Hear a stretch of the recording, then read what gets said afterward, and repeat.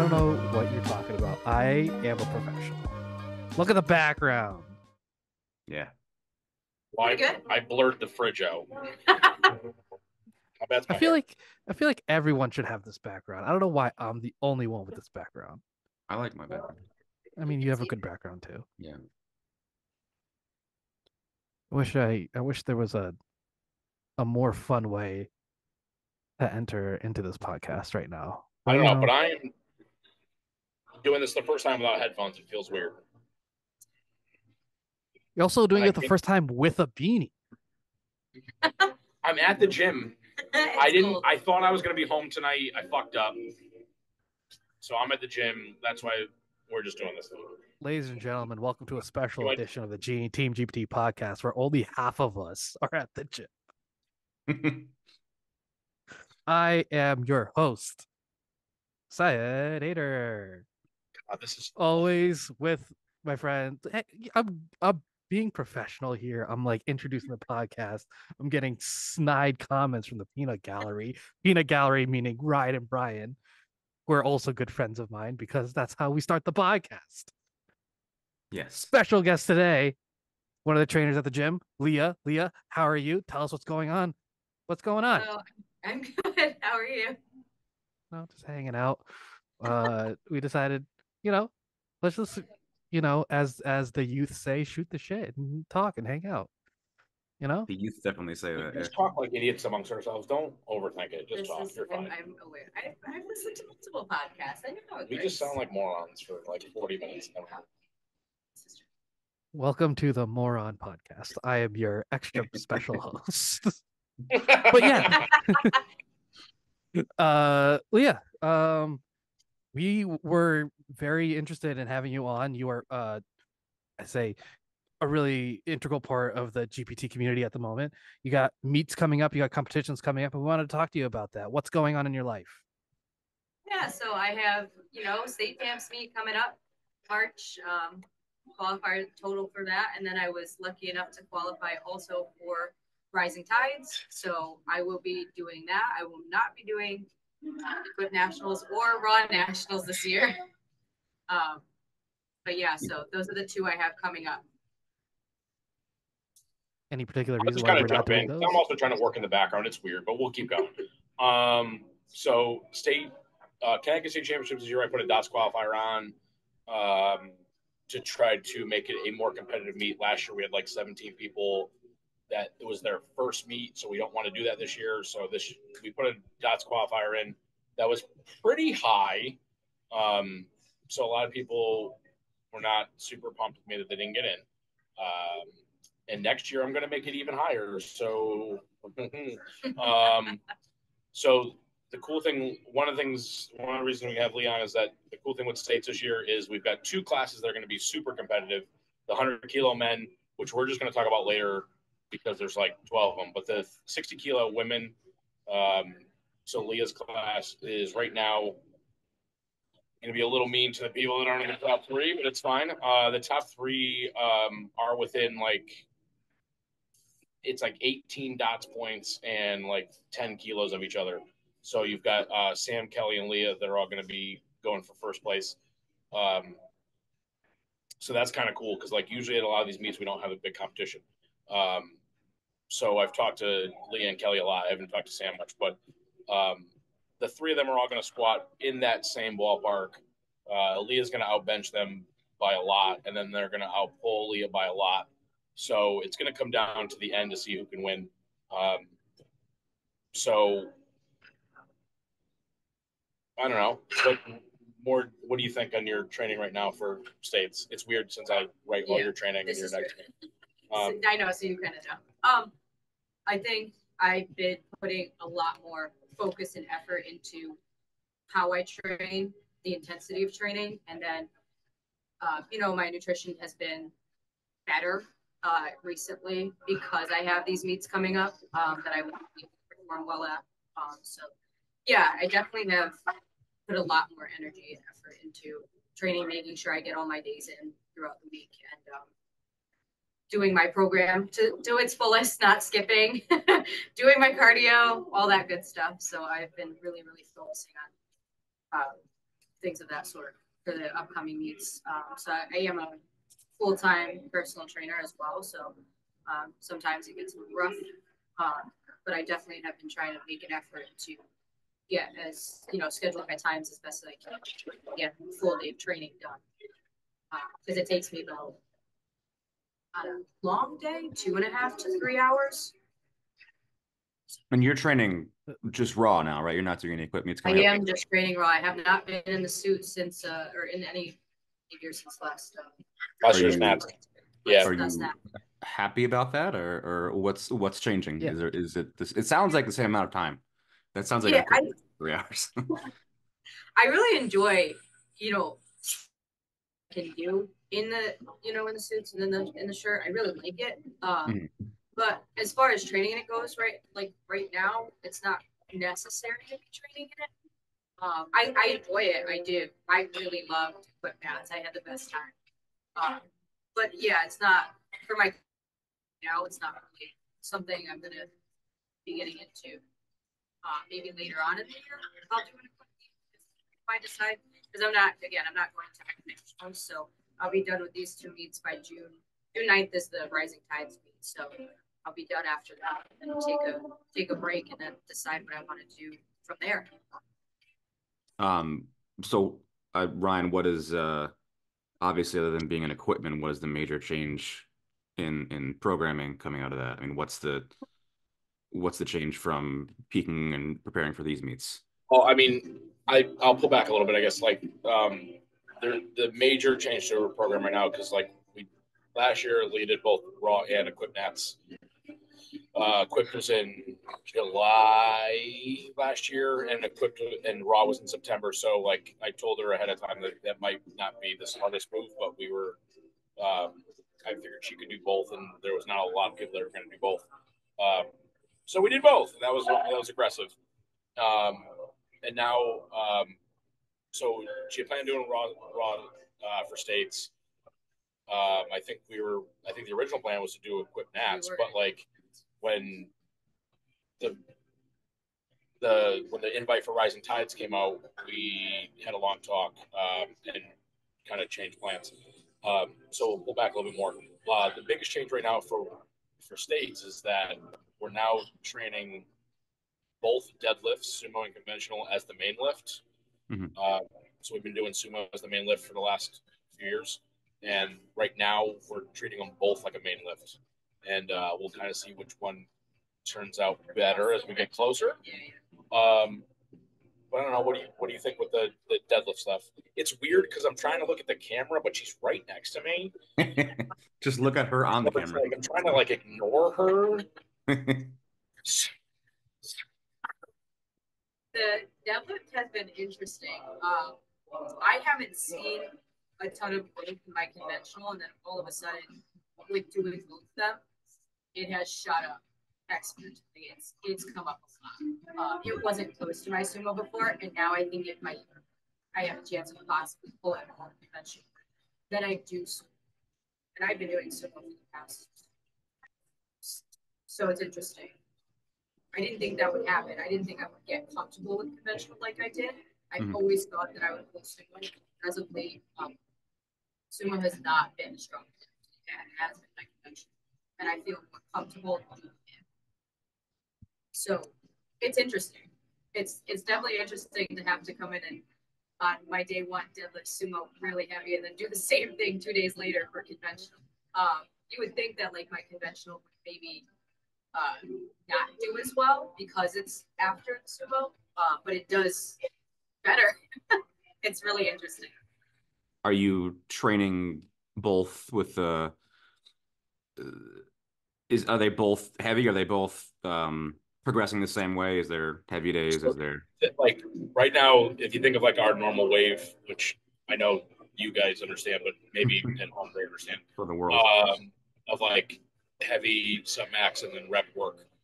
Uh, normally for you know for we only treat that for the main lift, and then the supplemental lift. So like if her main lift was sumo, then for supplemental it might be conventional, but it's more of just like a linear kind of style, three by five, three by three, three by one, something like that. Um, I'm treating both with the same wave. So in week one, both are heavy. In week two, both are sub max. In week three, both are volume. Um, so I um, I beat up Lia more than most of everybody else. Um, like I said, last year she did the two she did the two nationals within three months. So training in gear, trained enough in raw to not be fully away from that. Then did the gear, then got did equip nationals, and then got out of the gear immediately after equip nationals, and then to ramp it right back up for raw nationals. Um, and then I mean, like for equip, she came third in the country, and raw was twentieth, something like yeah, around top twenty. Um, so and PR'd in both meets, so like things went well, but it's a lot. And then, so like I said this year, the big change this year, if you ignore the equip side of things, is that we're just that we're adding in conventional a lot more. Uh, so that's for states. Uh, that'll be fun because we want to see. We're gonna see what ends up coming out better, sumo or, or um, conventional. And like I said, like going in into squats, the three of them are all going to squat around the same number probably going into bench, she's going to out bench the other two by a decent amount, but they out pull her. So the interesting thing will be like where conventional kind of pulls in. So like if if conventional ends up being a big jump, then she might be a lot closer than everyone thinks right now. Mm-hmm. Um, so that'll be kind of interesting. Um, and then I said, then we had a big talk um, because um, Equip Nationals is only like a month after Rising Tides. Uh, Equip Equip Nats is fun because the uh, the environment's very different than raw nats because everyone's kind of on the same page. Where raw nats, there's a lot more. The, well, just like everyone's kind of doing their own thing. Where equipped, everyone's like really on the same page. Um, so we talked, but when the Rising Tides invite came out, so two people at the gym got that. So Lia got it, Stephanie got it. I talked to both of them individually. Uh, they both decided to do it. They thought it was kind of a good uh, thing for their career. Uh, more so than Stephanie doing raw nats and Lia doing equip nats. And then, at least on the raw side of things, it worked out because uh, it sold out in four seconds. So neither of them got in anyway. Um, but I told Lia that like equip nats is pretty much out of the out of the picture if we're doing uh, of tides because equipped is about a month later, and we really can't do the equip training leading into rising tides and have rising tides go as well as it should and we don't have time to be able to get into the gear and train for one month after that. So we decided not to do that one this year. Yeah. Um, so we talked about states. So Rise Tides is the next big one. So like I said, Rise of Tides is like it, it's an invite only meet uh, for New Jersey first and foremost, and then it's for New York, Pennsylvania, and Connecticut. So John D'Alessio is running that. Uh, Kevin Pop of 110 is um, the the main sponsor for that one. Um, so they're trying to run that like almost like a mini Sheffield over here right now, and hopefully to grow it. So again, like the there was a dots qualifier. Um, it was even higher than states, so it was, it was a hard beat to get into. Um, but we think like you know, it's going to be better for the two of them for their career. Um, and we talked to a couple other people, and they mentioned the same thing. Like Lia being, like said, she's a full time trainer and coach doing equip nats is cool, but like not sure a ton of people outside of equip nats really care. Where Rising Tide should um, be good for um, social media, be good for uh, getting more people involved. Um, so that'll be the next one. So, hmm. so that one's uh, three months, a little, little less than three months after states. Okay. Uh, so again, close, but yeah, so as close as I've done in the past. Right. Like, so it's a tough combo. Like, like I said, last year she did equipped and then did raw nats. This year we're going to do raw state uh, states raw and then follow it up three less three months later and peak again for rising tides. Uh, Do you think that's the uh, probably it for the year for you? You think those two, or is there another planned, or just see what happens? That I'm gonna because last year I did pretty you know, three meets. And that's been like the pattern for me is three meets in a year. Mm-hmm. Uh, it's a lot, like I would say. I don't know how many more than that. Um, because especially with the two nationals meets for equipped, I didn't have a lot of time. I kind of decided um, hmm. I was, I was in the year Yeah, maybe like ten weeks. Yeah, was a lot less than normal. A lot less than especially normal. for a new person. Right. I was brand new to the equipment last year, so to try to uh, get my soups ready and like prepared for the meet was also kind of um, a little interesting. I didn't know how equipped was gonna go, but I was really excited to do it. Um, but it turned out great. Does that make it more exciting for you? Does the the the multiple factors you have going on between preparing and then at the meet where there's a lot more that can go on? Yes, like I I enjoyed equipped because I I didn't know what was gonna happen. Like I enjoyed it because I couldn't. Yes, I didn't. You know, I didn't have a. We had numbers in mind, but I didn't know what Yeah. was gonna happen. I could have not hit depth in the squat suit, and even on my second attempt, we we missed it. You timed out.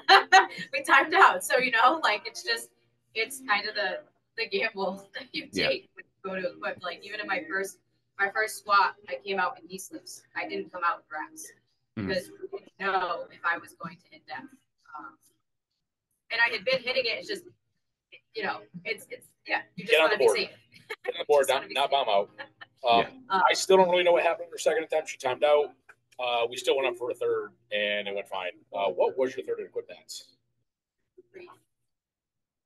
So 155 kilos, 341. She's probably going to squat more than that raw uh, at state this year. Uh, so, you know that. But then, like, I mean, equip her equip bench 237 and equip nats. Like, she ain't mentioned that at states or at Rise of Tides. That'd be cool, but that's not to happen.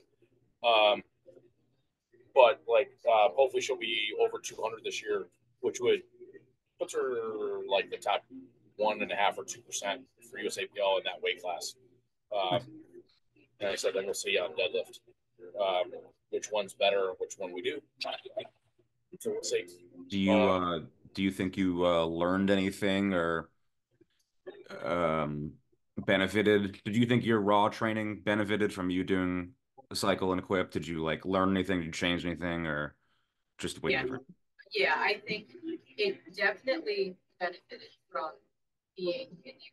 I got to learn a bit more about myself as a leader Mhm. because I'm not a patient person. You can ask him. Um, he put time limits on my sets because I will just load it, it. Like I would just move right into the next one. I've got so many comments about how fast I move. Yeah, I comment all the time. you know, like the joke is like power lifters like put out a lawn chair and like, you know, grab a drink or whatever and like sit there for Mhm. yeah, that's not, not me. I'm No, like. I'm so much more fast paced, so I have to be told to rest. And in the equipment, you can't you can't move fast. Like it doesn't work that way. Right. Um, you have to take your time getting into it, getting comfortable because like there like I do, you know, have anxiety about, you know, I get nervous doing new things and I took like especially the deadlift suit, that's why you didn't see me in it. Um, Mhm. I couldn't learn it. I couldn't be patient enough to like sink into it or like She didn't have the right size either. So like that was it was just that was part of the problem. Is like because she was using used gear and trying to get into it very quickly. The deadlift suit we had was going to be way too tight, so it was just we just scrapped it, just went raw, which was fine. Mhm. Um, the nice thing about the equipped is like if I have to wrap her, I just don't wrap her until I want to, and then she's going to wait longer. Um, so instead of having two minute breaks, she automatically has longer breaks because I'm just like not going to wrap you. Um, so like, yeah, like you know, trying to get used to like more meet style where you know you might have somewhere between seven and ten minutes in between sets. I learned patience. Like a lot of lifters will just naturally do. We'll take a ten minute break in between Mhm. sets. She'll take two, um, If that, that's that's generous. Two minutes is like a which is I mean it's probably fine in training, but it it makes it a little bit weird because since you're not getting getting as much rest, you're automatically having more fatigue. So your top sets might be a little affected. Um, the way we program it depends. On like a submax day, that's probably actually really good. Um, keeping the rest really quick and just ripping through the sets is fine. On a volume day, in the middle, um, it makes that top set a little bit harder, but that's not necessarily a bad thing as long as you get there.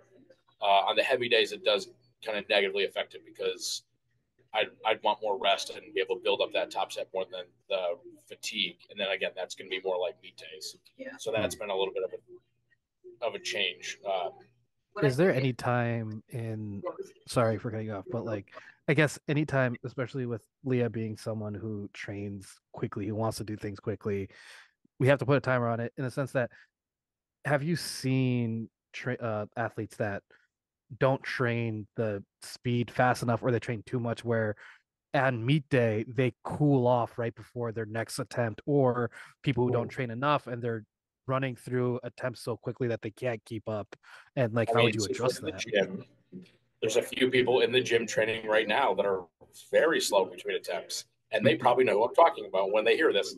Um, it's I think it, it's pretty rare on meet day. I think you're just so amped up um, mentally that like it's not. I'm not as worried about how long you take in between sets in training for that. Um, I think the problem there is like that you, if you take too long in between sets, the fatigue isn't there that normally would be there in between. So you feel stronger than maybe you should. Um, and that might negatively affect on meet day because like you're you don't have that same kind of rest and then it changed that. Um, where like I said, she's the opposite. Like she goes so fast that on meet day because it's such a long time. I don't think she's gonna get cold because again, like you're so amped up, like, but it's more of like we almost don't know what she's capable of because if we haven't had that nearly complete or complete rest of seven, eight, ten minutes, you know, like that you get a meet day that you don't know. Um, so that's kind of we we kind of trying to make sure that happens a little bit more. Um, but yeah, I don't like. I'm not worried about like getting cold um, or anything like that. Or It's never happened, even on the couple days that we've had it here. yeah, I mean, the, yeah, like I don't think that's that big of an issue. Yeah, you do a like you, I put a sweatshirt on my arms before, like before a bench or something like that. Yeah, It hasn't been to the point of where I'm like, I can't lift because now I'm not working. That has not. happened. yeah. Like I don't like I said, I don't think that's a problem so much. It's more just like having an idea of like what you're capable of because you're getting enough rest, or like you said, someone who takes too long of like what are you actually capable of when you don't have 20 minute rest periods. Um, because on a meet, if you, there's no way you should have a 20 minute rest even between attempts. Like I said, like most of our meets, you're looking at seven to nine minutes if it's a full flight. So I like to try to see lifting done a little bit quicker than that. So if we're look if we're looking at eight minute in on meet day, if you can take your attempts on five to six minutes in training, so that way you're on meet day you got a little bit extra, so it's almost you almost feel better. Um, but I don't want to see more than that. But like I said, if you see, if you do more than that, I don't think it's the end of the world. Um, it just changes like the training a little bit. Like you probably have a little bit inflated numbers in training because of that extra rest. But it's I think, well, I think what it did for me for meets is like the fast, like me going fast in the gym. I think what it did was help me slightly sometimes in meets when things go much faster than intended. I'm prepared. I'm one of those people who can do it. Whereas like if someone's not as prepared for you know less time in between their attempts, they may not be as prepared as someone that like me. Like I can handle it. Um, even if it was a longer wait, I am impatient, but it doesn't mean I can't handle it. Um, and equipped, I think training faster did really help me because I was prepared, like I was ready to go out. Uh, I was ready to get my knees wrapped. I knew what was going to happen. It fast. It was much like I had to be wrapped. Like I would, I think I would wait like minutes and then you come back over. It was something like that. It was, it was fast. Um, so I think it helped me there. But is it going to help you? Like if you have to wait longer, sometimes maybe not so much, but I've never felt that it's affected me super negatively. Um, but I've been trying to pay more attention to it now that I'm doing two raw meets and not. it's weird because Another- again I'm working right now, so I keep looking out the window to see if I need to help anybody. It's also because like we're in the same room, so I'm leaning to the side. And I keep doing weird shit with my hands, and it's like not showing up, and I'm like, what am I doing? Um, yeah, the things that I notice when I'm not by myself. Um, uh i mean if you want to take a moment and like corrals the gym and make sure everyone's okay i have a question I for brian and lia like, we're okay. I told people. I mean, there's a couple new Well- people, and I told everyone, but we're fine. Um, for brian and lia both of you are in a interesting position in the sense that both of you are trainers but you also get your programming from ryan so my question is is are there times that you know how important is it to have someone else sort of take your training on for you or that you're programming on for you versus trying to do it yourself and are there times where you're just like I'm a, I'm a program myself. Ryan can kiss my butt. That's exactly what I've said. Exactly. I have not said that. I don't think I've ever said those words. I've yeah, I've never said that. Well, I think I mean that might be like like you said, because I coach well, it's a little bit easier. Um, Lia's been training with me for most of her powerlifting time. Uh, no, you, did- you did one bench only meet here that Oh, by that you, myself. that you bombed out of before I was coaching you, That's true. Don't take credit. And then- I'll take credit. and then you did a, a non USAPL meet right after that. oh yeah, that's right. Um, and then I started coaching after that. So you weren't like, so it's most of her training's been with me, so that's a bit tough. Um, Brian did have, I mean, I've been coaching Brian for I don't long enough now that I don't know what that means. Yeah. Um, I mean, you Sure. took a little bit of a time in between where you did your own thing. Um, Yeah. But yeah, I think it's like not saying it like that side. I think like you, you kind of think of it as like, well, since they both coach people, it, it's almost like more like, do you have that mindset like, I could do this myself? Yeah. Or is it like, oh shit, I can't do this myself because I know what it entails for other people. And then I'd have to do that for myself too. Does that make more sense as a question? Brian, Lia? Yeah, no, I get it. I, I, I mean, I get the uh, the same gist of it. I think um, it takes uh, a lot of thought off the table. Um, Yeah. I'm thinking about training and programming uh, way too much as it is in my life. So if I don't have to think about that for uh, a slight while, it's kind of nice, and it's um, it's also good to have someone who could zoom out further than I could. Um, I think that's kind of what we do a lot of the time too. Is just uh, if athletes are micromanaging like every day to day, um, it's it's easy to have a different perspective where someone could just kind of zoom out and be like, "What are you talking about? Trainer's going great." Um, so if anything, it's just almost like um, I want to say accountability, but it it, it gives a, a less for us to think about and a uh, much better perspective on ourselves. That's my training. I'm someone who probably worked myself too hard because I am. I tend to be really, really hard on myself. Um, so having someone to slow me down and um, do the correct things for me is really helpful because I may know what to do for someone else, but for myself, different story. I tend to be indecisive when it comes to me, not necessarily for anyone else. I've said this before, I think on the podcast, like when I write a program for someone else, I'm like perfection, like Michelangelo, like this is amazing. I'm so good.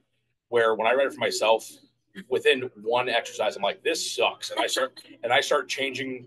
That's why like even like when my training was more important to me and I, I would hand it off to friends of mine and just be like, write me a 12 week, write me a 12 week because if I had something to follow, I would just follow it or if I wrote it myself, I'd be like, I could do better, and I would start changing it immediately, and the program would go to shit. Where when I write it for you, I'm like, no, I know this is what you should be doing right now, and like then we can make tweaks as we need to. But like I'm I'm more confident in what's in the moment, um, and I think most coaches are the same way. It's like when they're trying to coach themselves, they're like, well, what if I change this? What if I change this? And then it ends up becoming just a mess instead of just doing what you should be doing you're more likely to make changes. So Yeah. that one's it's it's that one's tough for I think anyone that's self coached. Uh, Yeah, it's you know so many exercises. You're like, I want to do all of these, or at least that's me. Like I want to do every single one of these. and so you start to fall into gaps of like you're doing what you like or what you or like you stay away from something that's hard because you know how hard it is. And you don't want to do it. Um, it's easier for me to be like, do this, and then you're like, fuck. Um, like, like a good example is I like I- you know we've talked about on this podcast like 30 times. uh, I've routinely said that I think tempo is fucking stupid. Um, and recently, um, I've been giving everyone tempo. Not everyone, that's bullshit. Um, I've been giving more people tempo to try it out. Um, to the point where I made Lia cry. Yeah. Well, Um, so that's a fun. That, that's a fun seg- Welcome segue. to Gleason Performance Training. You need to cry at least once. I have not cried. But, like I have cried since like freshman year of soccer. Like I have not ever been so upset about a workout.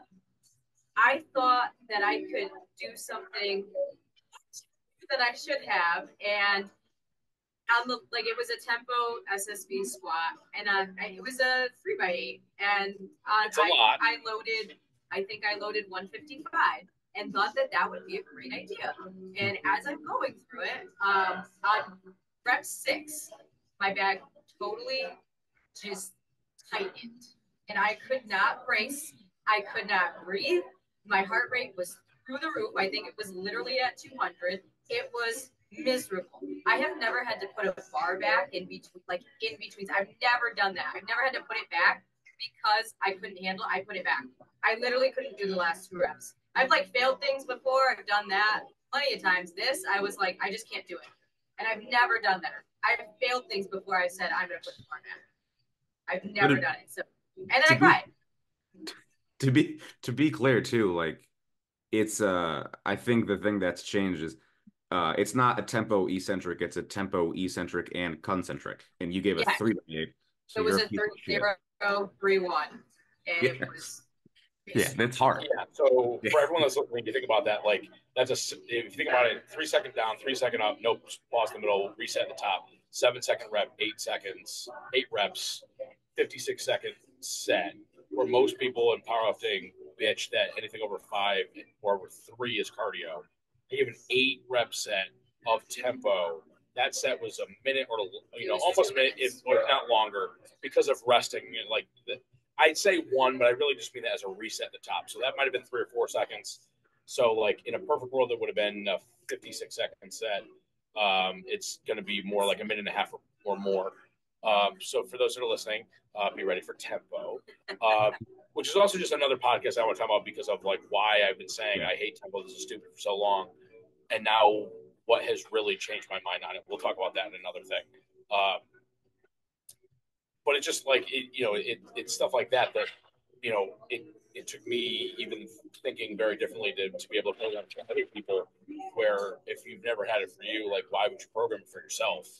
But it took me, like I said, I I kind of restructured the way I think about it, um, and then I was able to throw throw it into the program. Where if you were programming for yourself, you'd probably just be like, I'm still just not going to do this. Um, so that one makes it tough. There's a, I mean, I think there's, speaking on that subject too, there's things that I've put in people's programs that like I always, if there's something new and something hard, I'm like, I should try this so that uh I'm like uh, Yeah. aware of what's going to go on. And there's times when I don't, I do it later and I realize that I'm an asshole.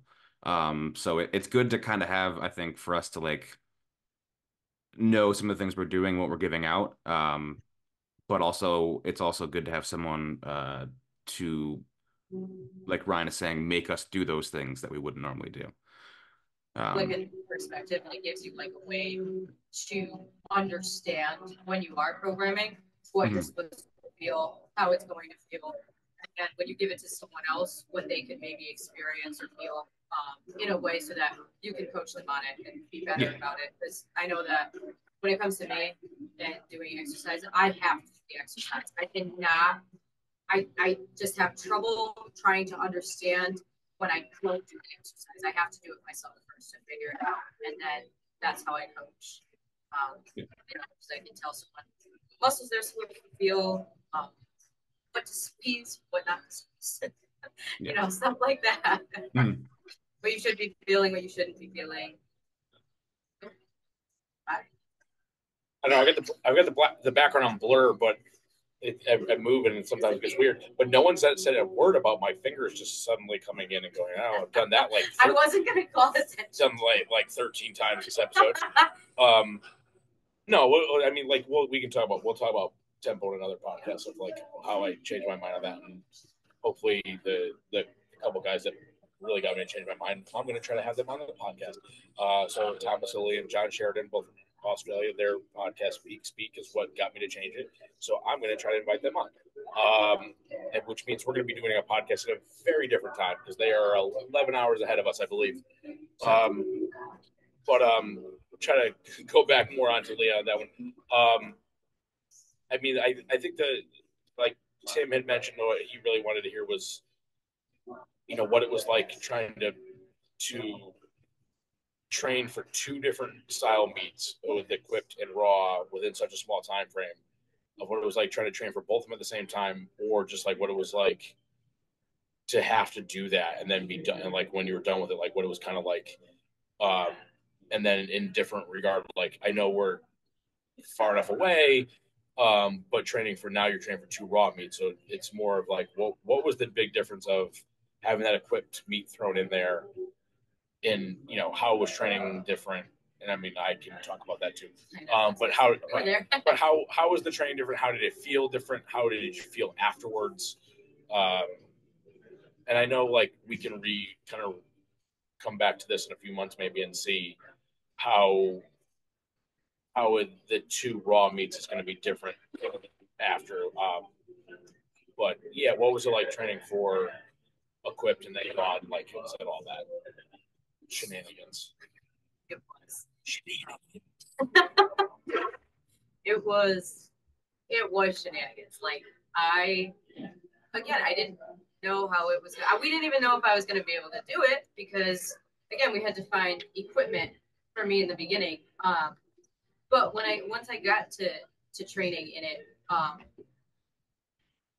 it was definitely like the hardest training I had done thus far, like the equipment leading into the equipment, because you know I was in the gym for four to five hours, um, and I wasn't used to that. I was used to again two to three hours, but know, like when once you tack on like two, three more out, it's a lot. Um, I had to, you know, bring snacks with me and make sure I was prepared for that type of training because, uh, again, I'm fast. I'm not used to sitting and holding off and waiting. Um, and I had to because um, I had to get used to the equipment. Um, and it was hard. It wasn't, it, it's not a walk in the park. Um, the suit, I had to learn that it bites and, um, you know, it's tight. It's not, it's not a loose thing. Like I had to sink into it, all the different things. And then when I got to nationals, we actually, I had a little bit of trouble getting into the squat suit and had to recruit someone because we didn't have like the Smith machine to like hang me on. So like they literally like put me on the Smith machine and kind of leave me there like into the suit. And I didn't have that at national. So I had to learn a different way on how to get into it.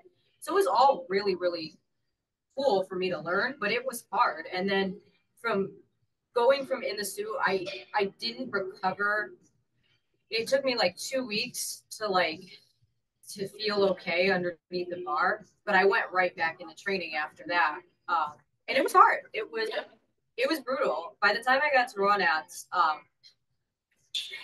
I was tired, and I had traveled three times in between. So I we had gone to Texas, and then I had taken a vacation, but I had trained on that vacation. I went to Aruba, so I was out of the country and found a gym that I was able to train in while preparing for Raw Nats.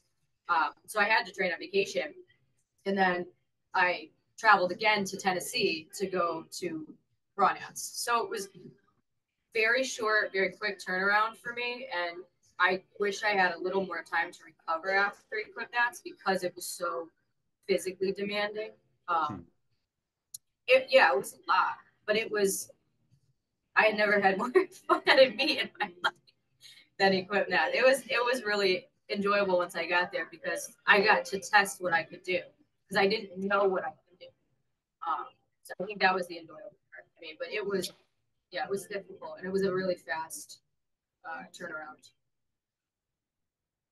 Yeah, it was not only a, a change in, in jumping in the equipment and training, but you also had three trips and two meets in a very short time. That's a lot.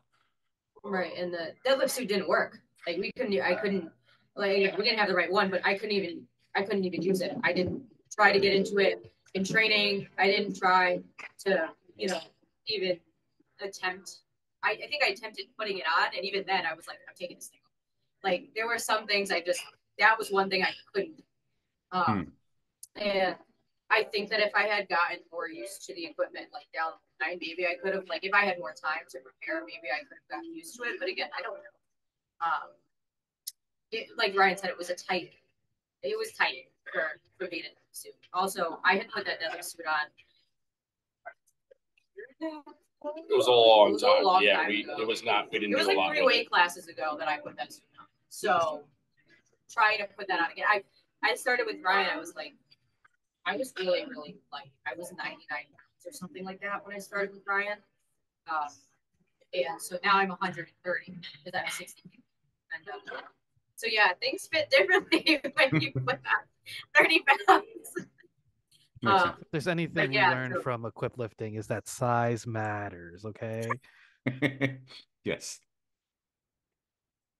Um, I'm, I, I mean, I'm gonna, I'll kind of like shoot in like, so I think one of the interesting things is like I said, we, we, I mentioned before that we made the decision that it was probably better for her career to do Rising Tides and not to do Equip Nats this year. But I think, and I already know this, but like the two of you, I think you can probably hear in her voice, um, the kind of the excitement of talking about the equip lifting.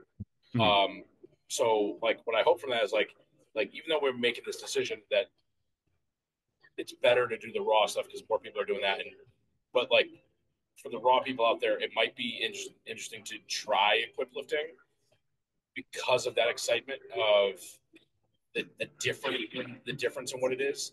Mhm. and maybe it's not for you and maybe um, maybe you love it but it's something you could try um, so hopefully you can do that but like have a full appreciation and understanding after doing it. You don't. I feel like a lot of people who have only lifted raw have something to say about equipped, but like, like whether they, they like it or not, you know, um, someone always has something to say about it. But you have to do it and experience it to truly understand like what it's like. I have such an appreciation for people who equipped lift. It is hard. It is not an easy thing. Um, and it's like so rewarding afterwards knowing that you were able to do something like that and at a much heavier weight than what you were doing it's it's incredible um some of like the weight that's um getting to my favorite thing was getting to actually see tim donahue do uh you know compete in the year because i had seen him once before but it hadn't been a great meet for him and i was really excited to see him you know his full potential um and like it was so to see those those numbers and to see what people could actually do uh, in, in the equipment. It was and to see what I could do. I mean, benching 237, didn't think that was going to happen in a competition in the sure. Um, I didn't know what was going to happen, um, but it was really exciting to, and like I said, rewarding to to go through that experience. It gave me a whole new understanding of what these lifters have to do to get prepared for a meet. Um, because raw is totally different. It's not the same. And you can't speak on equip if you haven't done it. It's it's it's an experience. I'm sure it made it easier too that in the span of a few years, a lot of the people at the gym, uh, a lot of you guys got in around the same time. So it wasn't like completely uncharted territory for you guys. You guys were able to train together and go to equip nats together and do meets together. Yeah. So it, it sure made it a lot easier. It's easier when you have a career with that. Oh yeah, like Tim and Kate were super supportive, really helpful. Yeah, they were. awesome. And obviously Ryan being there for me to help me get into the suit, wrap my knees, do everything. Like it takes an army to equip. Yeah. That's also the other part of it, and I think I like that too. The Mhm. community. aspects. Like when I went to nationals, like everybody was helping everybody. Um, there wasn't one person that was on their own. Like everybody was helping everybody get into the suit or you know whatever it may be. Like there, there was just so much of a community that I really, um, yeah, I really liked it. Do any of uh I know Ryan does, but Lia Bright, do you guys have any athletes that are like itching to try to quit lifting and that like have you thought about like, oh, if I was to ever get an athlete like that, how would I program for them? Uh, itching is probably not the right word. Um, I think some people are interested in trying it, uh, but it's it's not. It, it's still. I like equipped. I like the the differences of it because it's. Um, things can go so wrong, um, but when things go right, it's like such a bigger um, improvement, bigger change in what you're doing. Um, where with raw, uh, you kind of know what you're to get to meet. Like the kind of the joke I make is like, you know, if if, if Bob Matthew signs up for me or Ashton signs up for me, you pretty much know that they're, they're going to be up at the top. Um, but in equipped, like using Tim as the example is, you know, Tim had been training in it for a while, and his last equipped meet he had bombed out. So when he had signed up for equipped nats, uh, his I think his qualifying total was actually his raw numbers because that was what he needed to use to as as a qualifier. Um, and then Tim was able to come in and come in second in the country equipped. Uh, I think that was a lot, a lot surprising. I mean, and then Lia, we had to use her raw numbers because she didn't have equipped numbers. Uh, so equipped is like I make the joke that equipped is like uh, playing chess and raw is like playing checkers. It's a little bit different there. Um, and equipped kind of levels the playing field because you don't know what's going to happen. Like someone could bomb out in equipped, which is what happened for Tim, and really helps move you forward. Uh, where in raw, that's so much less likely to happen. Um, but just like you know, the I think the overload of the equipped makes you understand that like the the raw training is it's it's easier, but it's just as important to like pay attention to it. Um, and that you'll have that carryover like to both. Like being strong raw is going to make you stronger equipped. Being strong equipped is going to help you understand that like treating raw a little bit with a little bit more care is going to help. Um, so I think that was good for to for her to do both. Um, but it's tough. It's not like it's not something that you can do easily. And like I said, this year because of the way the way the timing broke down, it just didn't really work out. Um, you know, we'll see next year. Um, but I know, like Kevin has said, like Rising Tides, the plan is to have it again next year. And, um, and having like, there's so many big meets that are on top of each other in USAPL right now that it's it's kind of tough to do a lot of these. Um, and equip just takes a lot more, you know. Um, and it just beats up a little bit more. So like like she said, like getting after doing equip nats, like getting back into it for raw nats was was harder. Um, and then after doing that was just like kind of just needed a break for a little while where we pulled back a lot and uh, we train differently with the frequency, the volume, the intensity. We back everything down a lot um, and, until we're a little bit more ready to get into things. And then having states and rising tides has kind of forced that need to do that. Uh, but it's still a little bit easier to do that than it is to do it with uh, like we are if we were throwing the equipped in and we like and with now everything is just at, at level 10 all the time um so i think that's a big difference um we're on like going back into pod training. I want to explain that. It wasn't i didn't feel horrible. That was the thing that was so strange to me. My body physically felt fine. It was like my internal like i couldn't function. It was like my whole central nervous system was just not agreeing with me, and I couldn't figure it out. Like it, equipped was really interesting for that reason because your body didn't feel as bad because you weren't lifting that weight off, but it, it it messed with like different things. Like it definitely, I was definitely more mentally tired than physically. Like I couldn't bring myself to train super heavy for the two weeks after. It was it was interesting. Um, I kept telling myself like I feel fine, but every time I went to get under a bar, it just felt like it was a thousand pounds. Yeah, it was more different kind of fatigue. Yeah.